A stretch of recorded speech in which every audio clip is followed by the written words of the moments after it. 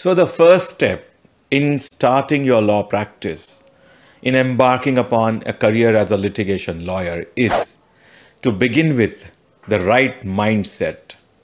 मतलब कि एक सही सोच के साथ आपको शुरुआत करनी है What I mean by that is that while you take up law as a profession, you must be very, very clear about your why.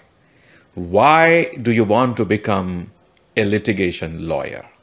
The second point is please do not let the initial waiting period in the profession dampen your spirits.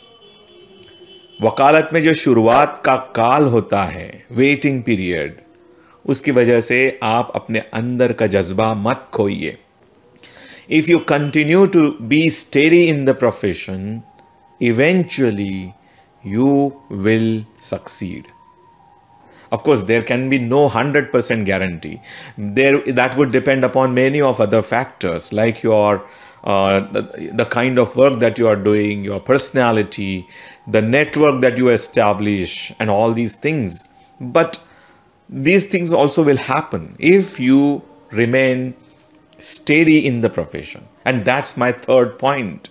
Third point is if you want to succeed in the profession, the secret of success is to continue in the profession steadily.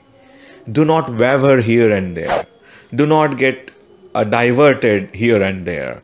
Now, one may ask, how can I maintain steadiness in the profession. And that's my fourth point.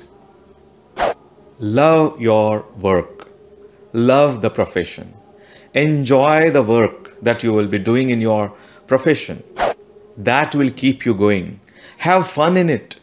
And yes, the profession is like that. You can enjoy that. Every case that you deal with has a different story. Every case, although it looks similar to other case has a different texture. There may be sensational cases, there may be non-sensational cases. Whatever may be the nature of the story that is involved in the case, the points may challenge you intellectually. The points involved, your research work, there are many areas. Enjoy the profession. My next point is, fifth point is, please, please, please join a senior's chamber at the beginning of the profession. Please avoid starting into the profession on your own. Now, the sixth point, I'm not really happy to share this with you, but I must also make you aware about the reality that is there. If you have someone to support you financially for, say, about two to three years at least in the legal profession, please please take their help. It may be your parents, it may be anyone else supporting you financially. The seventh point please treat the profession with complete respect. Please have the feeling of respect for this profession.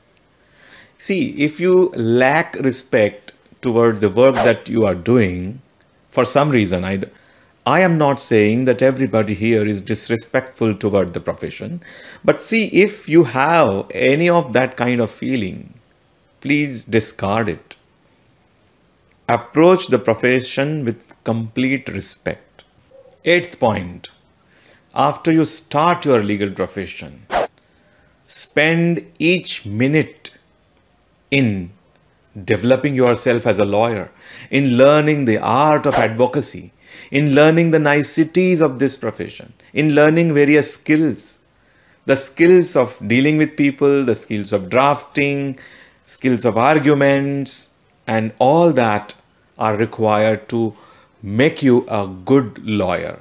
A ninth point achieve work life balance.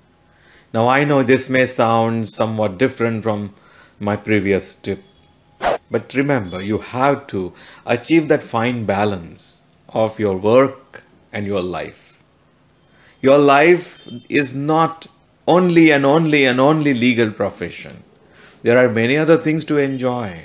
The tenth point is keep an eye on money also. I am not suggesting in the entire video, or I have not suggested that you forget money. No. What I meant was that in the initial stages, you will not get enough money. But as the time would progress, you would also get money.